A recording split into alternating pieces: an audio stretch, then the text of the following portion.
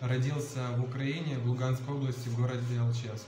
Э, проходил военную службу в Вооруженных силах Российской Федерации э, в 126-й отдельной бригады береговой обороны. 24 числа мы зашли на территорию Украины. 2, 2 марта я был подстрелен и взят в плен, где мне дали должное, должную медицинскую помощь. Я хочу обратиться ко всем военнослужащим, ко всем людям, чтобы поднимали митинги. И хочу сказать про, про то, чтобы война была закончена. Нам не нужна эта война, нам нужно сложить всем оружие.